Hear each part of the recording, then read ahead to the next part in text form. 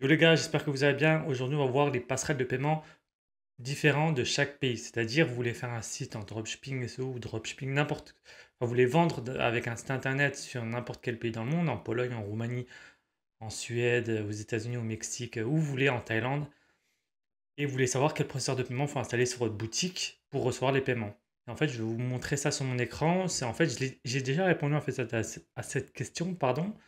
C'est, euh, j'avais répondu à trois mois sur la vidéo où je montrais les marchés inexploités et un mec m'a demandé en commentaire euh, comment on trouve et je l'avais mis euh, en commentaire. Vous pouvez aller voir, mais de toute façon, je vais mettre le lien dans la description de cette vidéo. Et on va voir ça tout de suite. Juste à une petite aparté, ça c'est une vidéo qu'on m'a suggérée sur les 30 vidéos que je vais faire là pendant 30 jours, une vidéo par jour. Et c'est un mec qui m'a demandé, je sais plus sur Instagram ou en commentaire de la dernière vidéo, pardon, de faire une vidéo là-dessus, les processeurs de paiement en fonction de chaque pays. Donc là, les gars, on se retrouve sur Adyen. En fait, c'est un site internet, mais c'est une solution qui permet euh, d'avoir tous les paiements du monde. Je ne l'ai jamais utilisé, je ne compte pas l'utiliser, mais juste que sur leur site internet, ils proposent de savoir quel processeur de paiement on peut utiliser ou quel moyen de paiement dans les pays les gens utilisent euh, en fonction des pays, en gros. Donc voilà, là, je, vais vous mettre le lien euh, de cette page en description de la vidéo. Donc là, vous êtes là, vous arrivez là, vous descendez.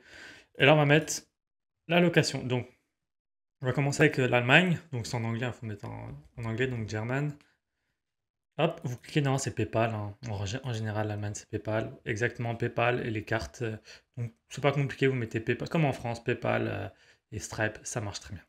Maintenant, par exemple, vous voulez mettre, je sais pas, les États-Unis vous mettez en, anglais, donc United States. Hop. Je crois qu'il faut que je supprime. Euh, parce que ça, ça sélectionne encore l'ancien pays. Non, c'est bon, c'est que les États-Unis. Donc voilà. Euh, American Express, Klarna et les cartes de paiement. Donc en règle générale, c'est pareil que la France. Et euh, bon, je sais que Klarna, c'est beaucoup utilisé dans les pays du Nord. Parce que je crois que c'est une solution qui a été créée dans les pays du Nord. Pays du Nord, je parle Europe du Nord. Hein. Donc on va mettre Sweden. Non, c'est Klarna premier. Exactement, Klarna, Mastercard. Maintenant, la personne qui m'a demandé, c'était euh, m'a dit Pologne. On va faire Pologne. Pologne. Et à Pologne, ils utilisent donc carte bancaire, un système qui s'appelle Blink, donc ça, faut se renseigner. Euh, après, voilà, vous vous renseignez. Hein, sur Stripe, il y a plein de partenaires. Mais de toute façon, vous allez euh, sur Stripe. Sur Shopify, quand vous mettez les passerelles de paiement, vous avez plein de types de partenaires. Donc, vous regardez là, Blink, tu regardes Blink. Mais avant ça, tu regardes sur Stripe si support Blink. Et si support Blink, bah, tu utilises Stripe. Online banking, ça, je ne sais pas vraiment c'est quoi. Pareil, il faut s'informer. Mais tu sais que c'est des cartes euh, de Visa. Mais online banking, ça veut juste dire que les gens n'ont pas l'habitude de payer euh, par carte. Mais ça veut. C'est je veux dire, le e-commerce, les gens payent tous par carte en général dans tous les pays du monde. Moi, j'ai, j'ai été en, Thaïlande, j'ai eu une ex pendant 9 mois, une ex taille, pour la, petite histoire, enfin bref. Et, euh, enfin bref, et on avait voulu faire un site, enfin, je voulais la, mettre dans le e-commerce, et je lui dis, fais un site en Thaïlande. Et euh, moi, je savais qu'ils payaient beaucoup, euh, vous savez, en QR code, mais tout en QR code, même sur Internet. Et je lui dis, mais du coup, le, la passerelle de paiement, c'est un, un QR code, tu vois. Et moi, elle me dit, elle n'a pas de carte bancaire. Alors, c'est vrai qu'il n'y en a pas beaucoup des cartes bancaires en Thaïlande. Ils en ont, mais pas tous. Et elle utilise beaucoup le QR code pour payer le métro, euh, les cours, quand il faut faire du shopping en temps réel, mais même en, ligne, tu vois. Et euh, je sais plus c'est quoi la passerelle de paiement. Enfin, la banque, c'est PromptPay, un truc comme ça, ouais, PromptPay. Et euh, puis il y a d'autres choses encore. Enfin, il y a d'autres, je crois, il y a deux, trois, deux, trois manières de payer en, Thaïlande qu'ils utilisent souvent. Bah attends, on va aller, on va aller dessus. Hein. Et en fait, c'est vrai que des fois, ça c'est dur. Si tu vendre en Thaïlande, ça va être plus dur. Il va falloir euh, s'inscrire sur des plateformes un peu inconnues. Bon, voilà, c'est. Euh, ils mettent carte euh, bancaire, enfin, carte de crédit, je sais plus comment on dit. Et Union Pay, online banking, ouais, online banking, et PromptPay. Alipay, PromptPay, ça je me rappelle exactement. Et, mais ouais, et je me rappelle, il payait tout le temps, tout le temps. Moi, ma copine, elle disait qu'il n'y avait pas de carte bancaire. Et elle payait tout le temps avec les QR codes, QR codes. Donc voilà, ça dépend. Il y a des pays, c'est très spécifique comme la Thaïlande.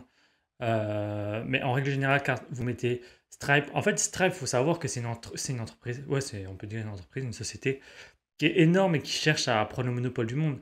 Donc dis-toi bien que quand tu installes Stripe, ils vont essayer à tout prix d'avoir le monopole dans le monde entier et d'accepter le plus de moyens de paiement. Après, il faut juste aller dans les, critères, dans les, options de votre compte Stripe et ajouter par exemple accepter Klarna, etc. etc. Moi, pour les paiements en plusieurs fois, comme j'avais fait dans la vidéo euh, que je vous dis d'aller euh, voir euh, dans ma chaîne YouTube, c'est le titre c'est doubler vos ventes x2. Et j'utilise AlmaPay, c'est une solution française, mais en vrai, c'est. René m'avait posé une question, je crois que j'ai oublié de répondre, et il me disait est-ce qu'on peut l'utiliser aux États-Unis ou ailleurs? Je crois, je pense. Alors, c'est une solution en Europe, je suis sûr, mais aux États-Unis, je ne sais pas trop. Je n'utilise pas pour les États-Unis. Almapay, ce qui c'est que c'est un gros truc et que c'est une entreprise française, donc c'est pas mal. Euh, vous pouvez parler en français, ça évite de parler en anglais. Que Klarna, voilà, vous savez pas trop comment ça. Après, ça reste Stripe, donc dans tous les cas. Il y a PayPal aussi qui est pas mal. Mais en règle générale, Stripe, PayPal, ça fonctionne dans la plupart des pays. Et après, il faut aller dans les options de Stripe, vous ajoutez des options. Ou sinon, il faut vous inscrire dans des plateformes. Et après, vous pouvez voir Adyen, mais franchement, j'ai jamais trop regardé. Je crois qu'ils disent qu'ils peuvent euh, accepter toutes les solutions de paiement dans le monde entier. Euh, je sais pas comment ils fonctionnent, mais euh, ça, peut être une option hein, d'utiliser ça, mais franchement, je sais pas trop comment ils fonctionnent. Ah voilà, c'est ça. Ouais, en gros, c'est une API qui vont, que vous allez ajouter à votre site internet et après, vous n'allez plus qu'à qu'à payer, enfin qu'à le mettre et vous pouvez vendre dans tous les pays. Mais en règle générale, ils payent tous par carte bancaire.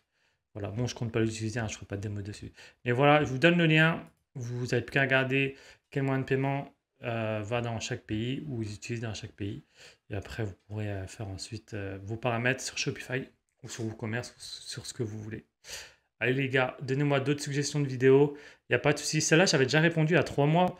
Euh, c'est en commentaire. J'avais répondu en commentaire à un mec m'a demandé. J'avais donné ce site-là, enfin, le lien.